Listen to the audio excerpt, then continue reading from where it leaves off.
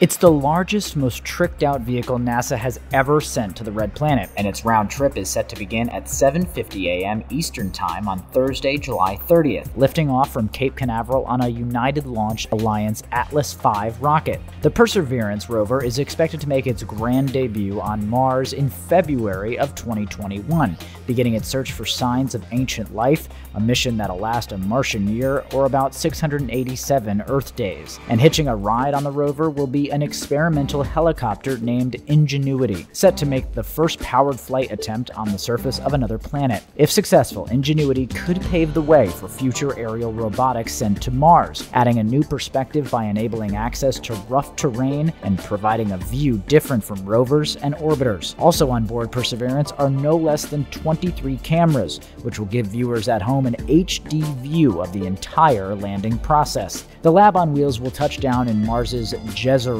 crater, an ideal spot to hunt for organic molecules as the site of a former river delta. Perseverance will also be the first rover to collect rock and soil samples for a possible return to Earth.